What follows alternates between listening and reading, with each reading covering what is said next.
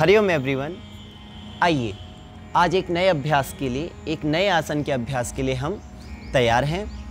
तो आज जिस आसन को हम सीखने जा रहे हैं, उस आसन का नाम है शीर्षासन। शीर्षासन को शीर्षासन कहे जाने के पीछे दो मुख्य कारण। पहला, जैसे कि नाम से हमें पता चलता है, शीर्ष यानी कि टॉप पर, सबसे ऊपर। क्योंकि शीर्षासन एक आसनों का राजा कहे जाने वाला आसन है और दूसरा, शरीर की स्थिति के हिसाब से जैसे कि हमारा सर नीचे और पैर ऊपर इसमें हो जाते हैं तो ये पूरा का पूरा जो स्थिति है, वह सिर नीचे होने की वजह से इसे शीर्षासन भी कहा जाता है।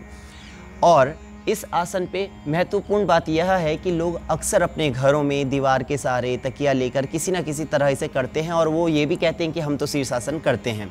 तो अक्सर लोगों से जब ये पूछा जाता है, आप शीर्षासन कैसे करते हैं? हम उनसे पूछते हैं कि एक बार करके दिखाइए। तो उसमें कई सारे लूप फॉल्स होते हैं। ऐसी जगह जहाँ पे ज़ोर नहीं आना चाहिए, जो कि बहुत रिस्की है। लोग वहीं पर अक्सर ज़ोर दे रहे होते हैं। तो आइए, देखते हैं, समझते हैं और अभ्यास करते हैं। सर्वप्रथम, हमें सबसे पहले वज्रासन की स्थिति में आना है। इस तरह सीधी कमर करके वज्रासन में बैठें। और अब धीरे से आगे जाते हुए अपने दोनों हाथों की फिंगर्स को लॉक करें आपस में। सर की बताई गई स्थिति कैसी है? एक बार ध्यान से देखें, हाथों की दूरी ना तो ज़्यादा है और ना ही कम। बिल्कुल कोहनियों के बराबर का ध्यान देने वाली बात कि आपको धीरे धीरे अपने नज़दीक पैरों को लेके आना है और चेस्ट तक जब तक ना आ जाए, उठाना नहीं है।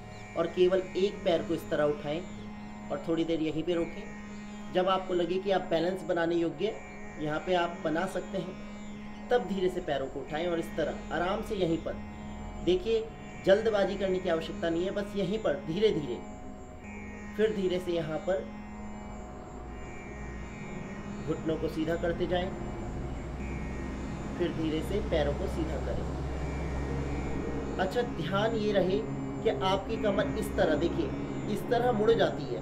तो ये जो बीच में आपको यहाँ पे कर्व आ रहा है, ये गलत है। तो आपको ध्यान देना है कि कमर जितना हो सके सीधा हो, पंजा ऊपर खिंचा हुआ।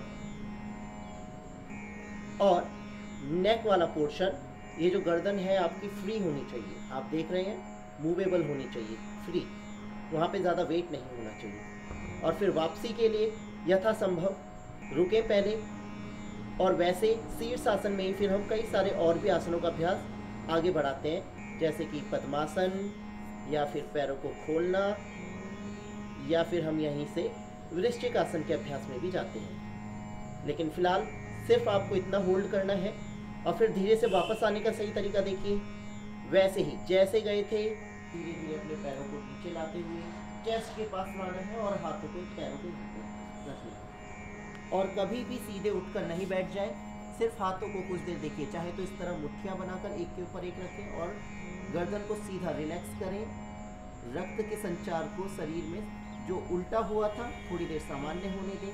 आप इस तरह या इस तरह सर को रखे रहें। एक से दो मिनट। अभ्यास जितना लंबा रहा शीर्षासन का, उतना उसका दशांश आपको यहाँ पे आराम करने के लिए देना है। इसके बाद धीरे से वापस खड़े होकर बैठ सकते हैं। तो ये था शीर्षासन। अगर आपको शीर्षासन के सही लाभों को प्राप्त करना है तो उसके सही तरीकों का पता होना बहुत ज़रूरी है। जैसे कि इसके नाम से, इसके गुणों से पता चल रहा है कि ये सबसे ज़्यादा फ़ायदेमंद है और इसे करने से बहुत ज़्यादा लाभ मिलता है तो इसे गलत तरीके से करने पे नुकसान भी आपको हो सकता है फेस करने पड़े।